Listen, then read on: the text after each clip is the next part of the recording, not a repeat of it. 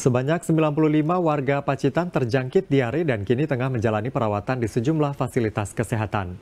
Dari jumlah tersebut, satu orang dilaporkan meninggal dunia.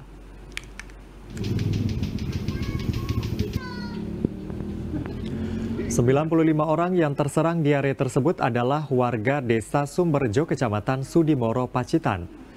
Mereka saat ini tengah menjalani perawatan medis di sejumlah fasilitas kesehatan, seperti Puskesmas, Poli Umum, Polindes, dan juga RSUD Pacitan.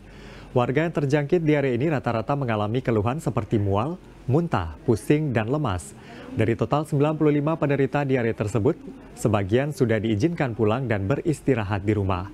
Namun sebagian masih menjalani perawatan medis. Sementara satu orang pasien dilaporkan telah meninggal dunia setelah sempat dirawat di RSUD setempat.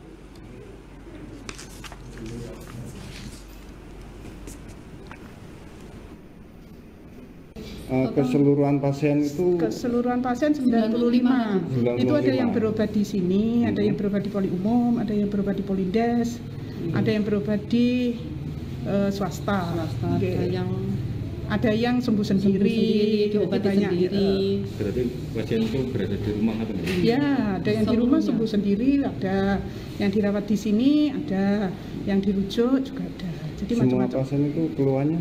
Keluarnya diare.